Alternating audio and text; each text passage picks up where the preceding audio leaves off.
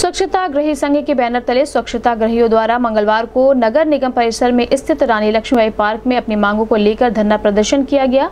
इस अवसर पर स्वच्छता गृही संघ के जिला अध्यक्ष जितेंद्र विश्वकर्मा ने बताया कि केंद्र और प्रदेश सरकार द्वारा हम लोगों की नियुक्ति पिछले साढ़े चार तक ग्राम सभाओं को खुले में शौच मुक्त बनाने का काम हो या चाहे ग्राम पंचायतों की सरकारी संपत्तियों का जियो टैगिंग काम कराया गया, लेकिन अब सरकार द्वारा हमें निकाला जा रहा है। जिसका हम प्रदेश के मुख्यमंत्री योगी आदित्यनाथ जी से निवेदन करते हैं कि हम लोगों को पंचायत विभाग में समायोजित किया जाए। इस संबंध में गोरखपुर न्यूज़ से बात करते हुए स्वच्छता ग्रही संघ के जिला अध्यक्ष जितेंद्र विश्वकर्मा ने कहा। स्वच्छता। अभी तो ये अंगड़ाई है। आगे और लड़ाई है हमारी मांगे पूरी हो चाहे जो मजबूरी हो लड़ाई है आगे और लड़ाई है अभी तो ये अंगड़ाई है आगे और लड़ाई है मजबूरी हो जितेंद्र विश्वकर्मा संघर्ष करो हम तुम्हारे साथ हैं हमारे साथ हैं अभी तो ये अंगड़ाई है।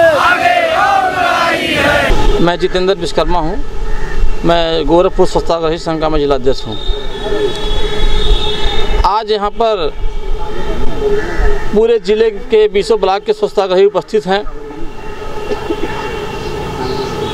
आज हम लोग इस नाते इस पार्क में धरने पर बैठे हैं कि वर्ष 2017 से लेकर आज तक हम लोग सारे गाँवों को हर उत्तर प्रदेश के तमाम सभी न्याय पंचायतों, ग्राम पंचायतों में हम लोग अपना काम किए हैं स्वच्छ भारत मिशन के अंतर्गत।